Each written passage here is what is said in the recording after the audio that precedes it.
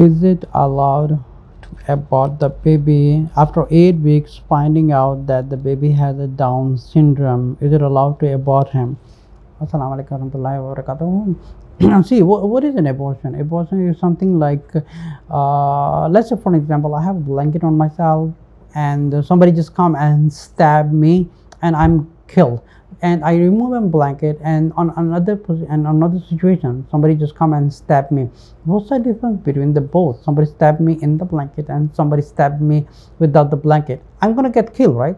Either way. So what is I, I don't understand why people making do not understand this simple thing that who gives you the baby it's Allah is the Khalik and He gives the baby and He is the only one who is Allah the Khalq al wal Hayat. Allah is the only one who gives the life and the, and the death, not the human being. If Allah gives a, a baby, it is not someone's uh, responsibility uh, to to about the baby because this is the the worst sin of the of the universe and uh, because and also killing someone is, is, like the major sin after testifying believing to be a muslim. And this is one of the major sins of killing uh, someone. So you kill a baby or you kill under somebody in in the womb of mother.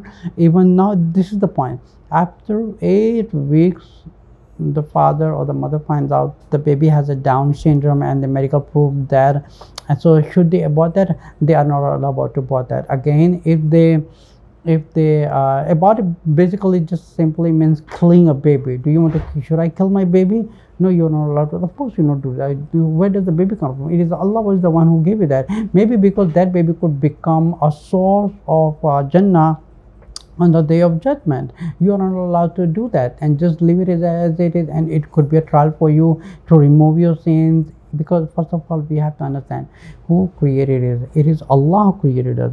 Do we have do we have the right on ourselves? We do not even have the right on our own self. Then how do we have a right uh, to kill others? Like even it's a baby or it's someone so we do not have the right uh, to do that so even we do not have the right to harm our own self. And when one of the hadith with the Prophet Allah has forbidden a zulm on himself, and also He has forbidden a zulm on other people. So by this is something like an astaghfir, like like a major word by saying that somebody has a Down syndrome after eight weeks and they want to um, abort the baby.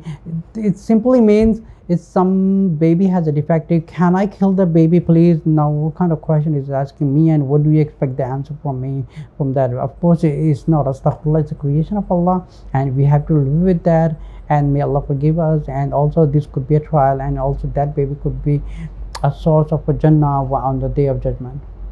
Oh,